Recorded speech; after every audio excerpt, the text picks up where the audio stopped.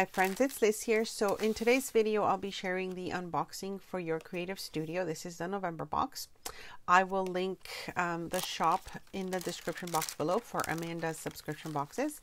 And I'm also going to be showing you the latest Daphne's Diary magazine um, after the unboxing. And it's um, for the holiday season. So the Christmas Daphne's Diary magazine. I'm so excited. So the first little thing that I see here is this little book that has some vellum sheets, which I love. And of course, once I use all these up, I can use the cover to make my own little mini journal. Um, I like that Amanda also includes a card now that tells you what's in each box, which is really great. And um, if you haven't seen my unboxings before, I will link those below. Um, I usually like to share projects that I make with some of the pieces as well. So just to give you some ideas on what you can do with these. So definitely, um, if you are looking to get something um, in the mail, some you know, new supplies for your creative projects, check out Amanda's shop. She is in Canada for my Canadian friends. Um, so shipping is also, I believe, included for the purchases.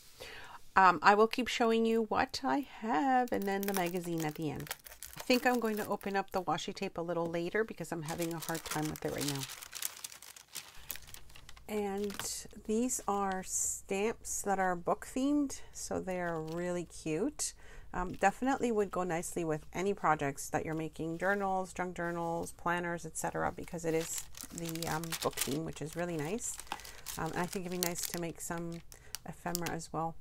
Okay, so we've got thin washi and the cutest little traveler's notebook. Oh my goodness. If you know me, um, you know I love making micro mini journals. And this is such a cutie. It's inspiring me to make some micro mini um, traveler's notebooks. And I think it's the cutest little thing. It has a little charm and the closure. Oh my gosh, it's it's perfect. It's a little traveler's notebook. Um, and it even has its removable little insert. So I can't wait to use this and also make my own little inserts to go in the cover. I think that is just such an adorable little one. I'm so happy she sent it because um, I've been wanting to get one of these and I'm so glad that she sent one in this box. So um, these are, um, I think it's just uh, vintage papers and there's always such a nice variety um, that she includes in these kits. So definitely perfect to collage, to um, share with friends as well.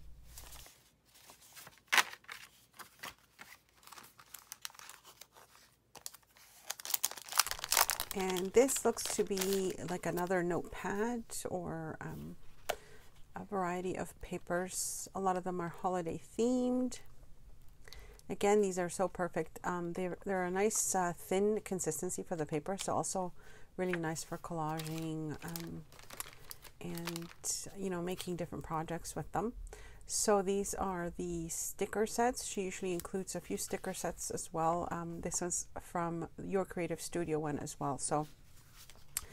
And these ones feel like they are the sticker paper that she mentions. There's also included in the box so love love love it i can't wait to play with these so here I'm just showing you quickly the um, washi tape. It's a nice wide washi tape and I really like the um, neutral tones that it comes with because then you can just use it with many different things. And the last thing that I almost forgot because I didn't see it in the box was this tiny little charm. It's so adorable. If you want to see some projects I've done with my previous boxes I have received from Your Creative Studio, I will link some of those videos below. Um, I will definitely work on something and get back and show you what I've done a little bit later on. Uh, but right now, um, I'm just going to show you the flip through of the Daphne's Diary magazine. I hope you enjoy. Um, questions, comments, leave them below. And I'm just going to put some music for you to enjoy the rest.